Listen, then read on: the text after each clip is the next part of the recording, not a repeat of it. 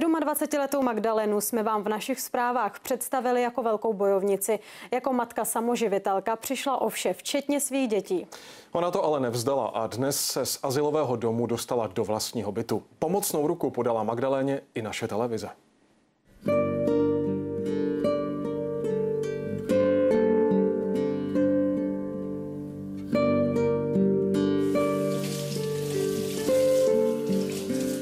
Magdalena Muchová si během několika měsíců prošla těžkou životní zkouškou.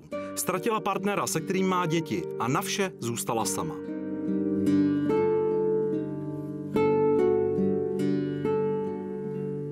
Neměla peníze, přišla o bydlení a své děti musela dát do kojeneckého ústavu. Než se dostala do asilového domu, pomýšlela na nejhorší. Je pravda, že několikrát jsem přemýšlela, říkala jsem si, tyjo, tak a měla jsem i žiletky nebo nějaký předměty, které jako prostě o, při ruce už i směřovaly nebo to.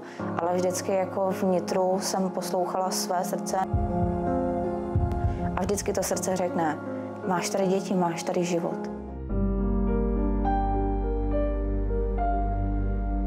Magda měla štěstí, dostala se do asilového domu pro matky samoživitelky. Jenže ani tady neměla zdaleka vyhráno, chyběly jí totiž peníze.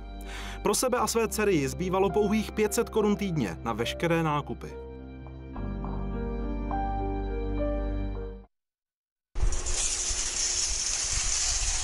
Co jsi nikdy neměla ještě? Neměla jsem dort. Dort? Jsi neměla? Neměla. Je mi pět roků a, z, a neměla jsem ani dort. Pro většinu z nás nepředstavitelná věc. Magda při nakupování musela pečlivě vybírat, co dát do košíku a co už ne. Třeba sladkosti pro děti koupit nemohla. Mami, to je mléčná rýže. Ano, je to mléčná rýže, ale já ti můžu rejži koupit a udělat doma. A dát ti tam do toho čokoládu nebo něco. Magda se ale nevzdala a postavila se na vlastní nohy. Dnes už má pronajatý byt a stabilní práci.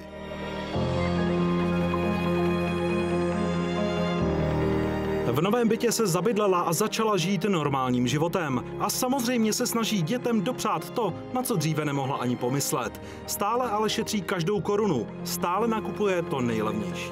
Jako stalo se nám i, že jsme o, mohli dopřát více masa nebo něčeho, ale není to dvakrát velká sláva.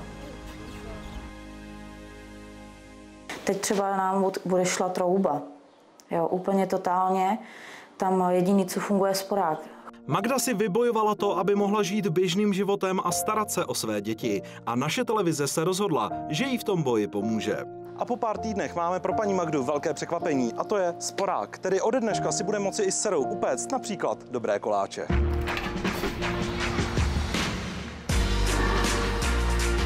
Tak Magdo, sporák je doma, co na to říkáte? Jsem nadšená, spokojená, že můžu uh, udělat něco pro děti, upéct, uvařit. Takže pro mě to je velké překvapení. Nečekala jsem vůbec, jo. spíš jsem ztrácela naději v tom. Takže jsem říkala, no tak budu muset asi nějak uh, svým způsobem, úsilím uh, na to vydělat nebo uspořit.